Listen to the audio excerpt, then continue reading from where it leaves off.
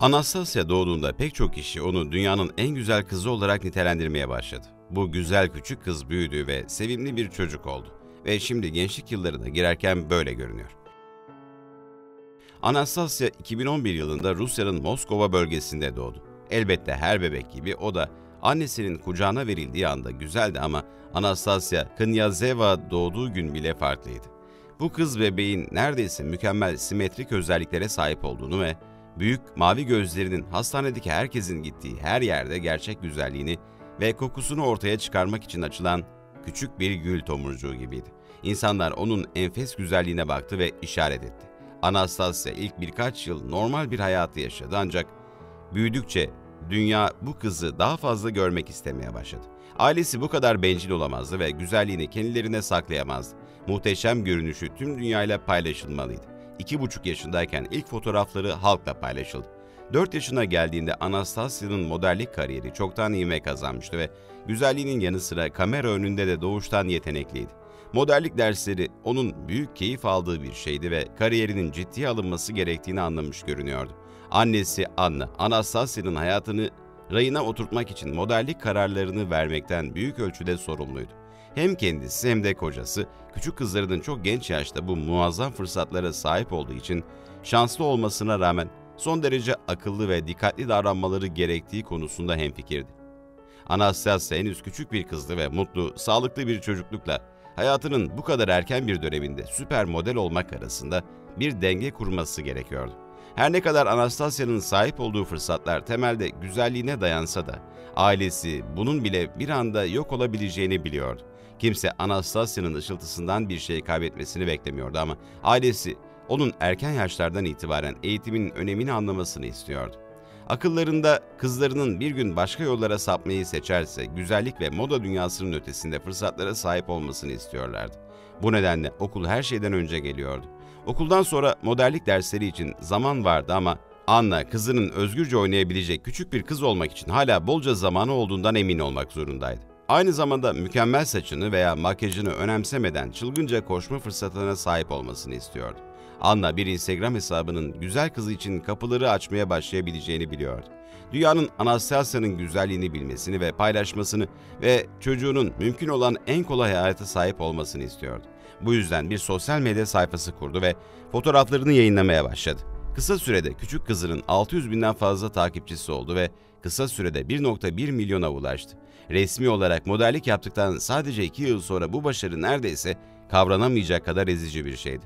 2017 yılında Anna bir sabah duymayı hiç beklemediği muhteşem bir haberle uyandı. Kızı henüz 6 yaşındaydı ama dünyanın en güzel kızı olarak kandırılmıştı. Açıkçası bu ünvan sadece kendi ülkesi Rusya'nın en güzel kızı olmakla sınırlı değildi. Tüm gezegene yayılmıştı. Bu ünvan Daily Mail gibi dünyanın en etkili medya kuruluşlarından bazıları tarafından da onaylanarak resmiyet kazandı. Anastasia bu ünvanı aldığı anda ünlü Fransız model Taylen Blonde'un izinden gitti. Ancak bu iki kız arasında derin bir fark vardı. Taylen'in güzellik endüstrisinde yer alan ve kendisine kapıları açmaya yardımcı olan ünlü ebeveynleri vardı. Anastasia için ise güzelliği tanınmanın tek anahtarıydı. Babası otomobil endüstrisinde çalışan ve annesi ekonomist olan Anastasia'nın ebeveynleri sıradan insanlardı ama neyse ki modanın cilalı dünyasında başarılı olmak için kullanabileceği silahlara sahipti. Anastasia güzel, yuvarlak ve mükemmel şekilli mavi gözleriyle ünlendi. Sadece inanılmaz bir renk değil, aynı zamanda ışık göz bebeklerini yakaladığında bakışlarında çok fazla ruh vardı. Doğrudan kameraya bakma ve ona bakan herkesin dikkatini tekeline alma yeteneğine sahipti.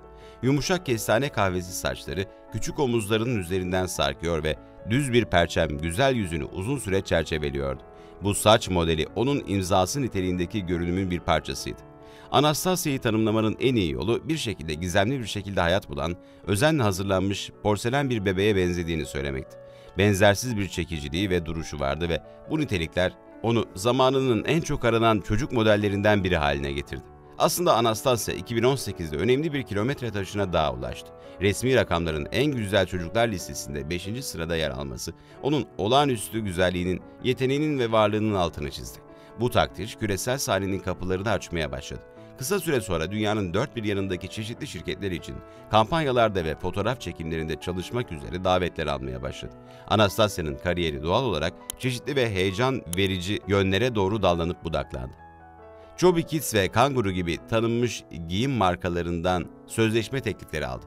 İş ve modelliğin nasıl iç içe geçtiğini öğrenmeye başlarken Kia Motors için de modellik yaptı. Televizyon stüdyolarının bu güzelliğe ellerini uzatması uzun sürmedi ve çeşitli ilgi çekici televizyon programlarının ortak sunucusu olarak başladı. Karizmatik varlığı, izleyicileri büyüleyebilen, kazanan bir kombinasyon sağladı. Bu çok genç yaşta bile Anastasia repliklerini öğrendiğinden ve eğlence endüstrisinde profesyonelliğin yaşının ötesinde bir olgunluk sergilediğinden emin oldu. Anne Anna tam da bu nedenle çocuğunun gelişebileceği bir ortam yaratırken onu ayakları yere basan biri olarak tutmayı kendine görev edinmişti. Anastasia toplumun her kesiminden çocuklarla kaynaştığı bir devlet okulunda kaydoldu. Diğer çocuklar arasında bu güzelliği gözlemlemek her zaman dikkat çekiciydi. Kendisi alçak gönüllü ve arkadaş canlısı kalırken okulunda kaynaşmak için tıklamalar oluşturmak için insanları kendine çekme konusunda doğal bir yeteneği vardı.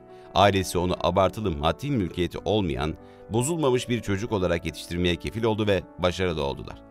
Anastasia'nın hiç düşmanı olmadığını söylemek güzel olurdu ama onun şöhret ve servet basamaklarını hızla tırmanmasıyla ilgili eleştiriler çoğunlukla annesine yönelikti. Eleştirmenler Anna'yı çocuğunu çok fazla zorlamaya suçluyordu. Bazıları böyle genç bir kıza herhangi bir renklendirici ve makyaj malzemesi kullanmanın kabul edilemez olduğunu söylüyordu. Suçlamaları kişisel gözlemlerine dayanıyordu ve hiçbir kanıtları yoktu. Anna kızının saçlarını hiç boyamamış ya da kaşlarını hiç koyulaştırmamıştı. Şöhretin yüzeysel dünyasında eleştirmenler bu güzelin ailesine karşı saldırmasını ya da suçlamalarla ilgili olarak yoldan çıkmasını neredeyse sabırsızlıkla bekliyorlardı. Anna ve kocası sadece omuzlarını sıktı. Kızlarını tehlikeli ya da rahatsız edici bir duruma sokmadıklarını biliyorlardı ve hakkında hiçbir şey bilmedikleri konularda dünyanın ne düşündüğünü umursamıyorlardı. Dahası önlerine gelen her daveti kabul etmediler.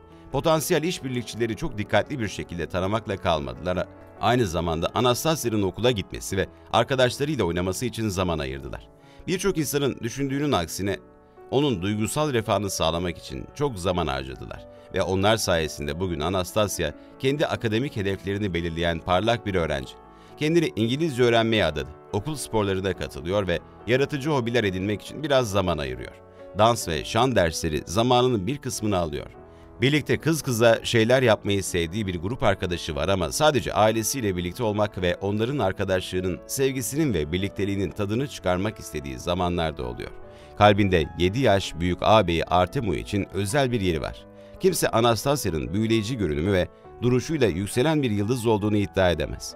Moda endüstrisinde çoktan aranan bir model haline geldi. Prestijli moda dergilerinin kapaklarını birden fazla kez süslerken adı ünlü tasarımcılarla ilişkili podyumlara bağlandı. Birlikte çalışmanın kolay ve keyifli olduğu gerçeğini ima eden en iyi markalarla işbirliği yaptı. Gelecekte pasta şefi ya da alternatif olarak veteriner olmayı düşünüyor. Şimdilik modellik yapmaktan hoşlanıyor ama isterse vazgeçme yeteneğine sahip olduğunu biliyor. 12 yaşındaki bu güzelliğin kalıcı olduğu aşikar ve hayranları hayatın onu nereye götüreceğini görmek için sabırsızlanıyor.